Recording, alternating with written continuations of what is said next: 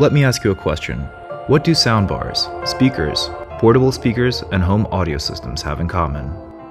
If your answer is that you can make your wired house audio system, old speakers, and old soundbars into HomePods, then you'd be right. Well, kind of. In today's video, we're covering how to stream music to wired speakers, even if the speakers are old, even if the sound system is old, and basically enjoy the high-tech audio system without the price tag. We are reviewing Belkin's Soundform Connect. No, this is not a sponsored video. I was curious how this works and my hobby is video editing, so here we are. Let's get started.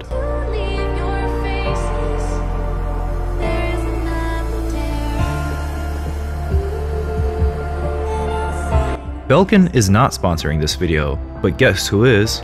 Ekster, shop the smarter wallet. Use the code Ruslan for up to a lot of percent off. Transform your shopping experience and your life with a better wallet. Full review up top. Check it out. So the box is pretty standard for Belkin. It's almost like Apple's packaging. The quality is high up there. At the top, we just have a little plastic thingy going on here. Nothing a sharp spudger can't solve. I will say that Belkin's packaging is all always high quality. So the adapter itself is tiny, it's very small, and as promised we have our 3.5 millimeter and optical input. Here is where the USB-C power goes in. Here you can manually paperclip reset it. Other than that, it's very simple, it's very lightweight. Here we have our HomeKit setup code, please don't break into my stuff. Here we have our serial number, please don't steal my warranty. We have our input rating, and overall this is a very small, compact adapter. I was really surprised. I was expecting something heavier. Two or three matchboxes. Regulatory information. Definitely gonna read this. Instructions. Basically setup instructions, how you shouldn't connect two connections at once. I wonder what happens if you do that. Now you can either use near field communication, so tapping your iPhone on the adapter to connect it, the accessory, and setting it up with HomeKit. And nice of them to actually include, they included a USB-C adapter too.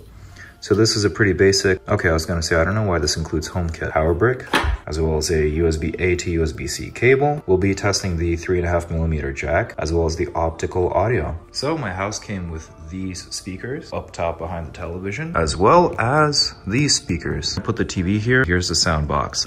So first we're going to test out this ancient AVR 245 by Harman Kardon. This has optical, but it has nothing else. So I'm setting up for the video now. And I'm wishing that for the price of this thing, it actually included at least a short optical cable because now I'm going to have to disconnect the television and there's going to be like a slightly unsightly long, too long of a optical cable on this. So I'm kind of wishing that this included a short optical cable. You can take the you can take the short optical cable, you can connect it on your existing system like so, and call it a day. Now you have to go either buy a separate optical cable. So setting this up is as easy as plugging it in, connect the USB-C. For whatever reason, the connections are on opposite sides. Power is on the front, and then the audio connection is in the back. Which could be better. Since we're using the iPhone to film, we'll set this up manually, but we can also bring the iPhone up close. We just go to Add Accessory, more options, and then select Soundform Connect. Then we just enter the HomeKit code provided on the back, select Continue, and it'll say connecting to audio receiver. We select the location, Soundform Connect. We see it appears in the HomeKit application.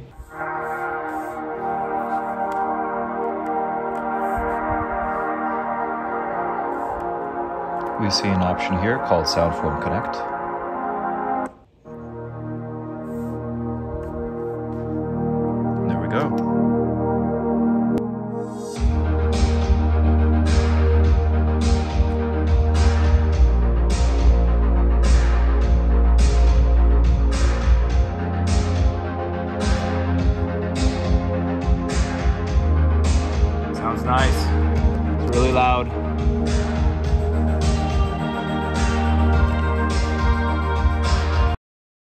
Really interesting is that normally I can't actually control the volume going to the sound receiver using anything other than the remote control because my TV happens to support AirPlay 2, but looks like on this I can. So this is a really cool additional feature.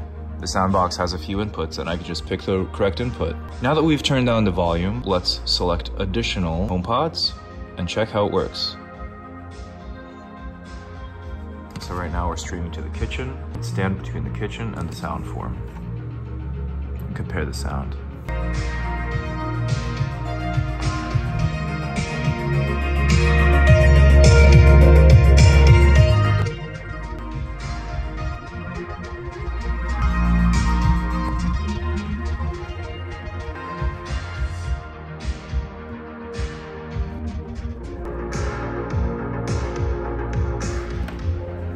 Okay, I'm ready to call this a great success. Let's see how it resumes.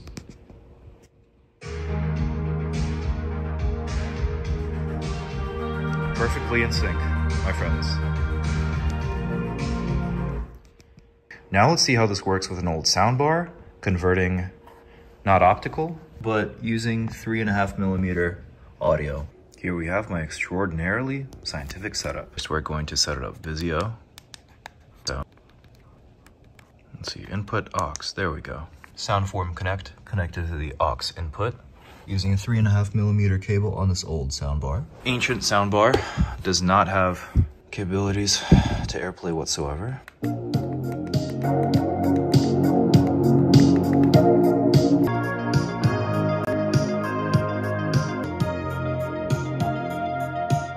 Now let's check how well this synchronizes.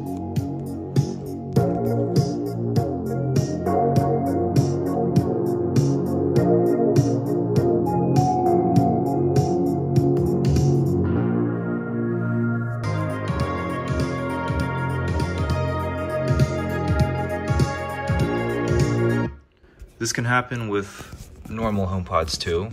This has happened to me before on regular AirPlay too. I'm going to give this adapter the benefit of the doubt and see if this happens again. Sorry for the crazy cabling mess. This is a to-do furniture item for the bedroom TV. As shown, you might want to double check if this works with your soundbar because my best guess is that with these soundbars, there might be some sort of delay associated, you know, just with the electronics and stuff. The Belkin was working great with regular optical. Your luck may vary with different kinds of soundbars. This is one of my absolute favorite toys in the world. It's a Bose Mini portable speaker. It's louder than a HomePod Mini, I'll be so bold as to say. After this failed experiment with the sound system, I'm reattempting this with 3.5mm aux to see if it's the circuitry causing the delay in the sound system before completely writing this off on 3.5 millimeter or whether it's something fishy at play. Bose, HomePod, HomePod, Bose.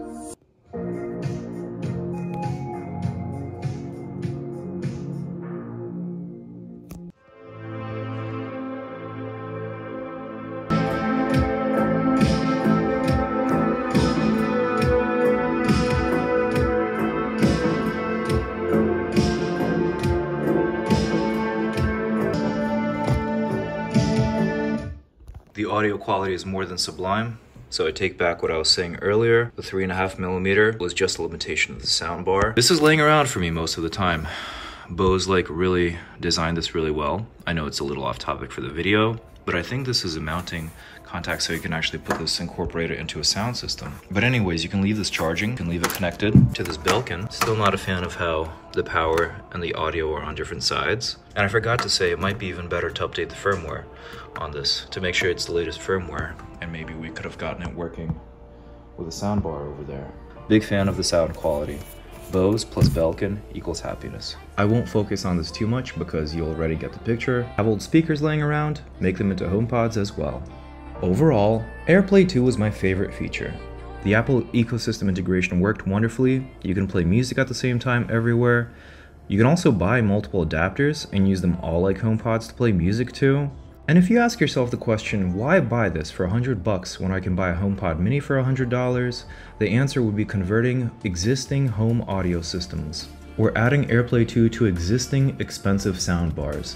To be realistic, this probably isn't worth it at all for existing old PC speakers or anything minuscule laying around.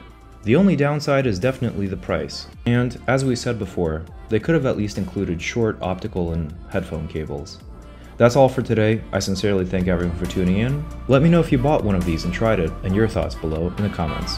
Thanks for watching, and have a great day, as always.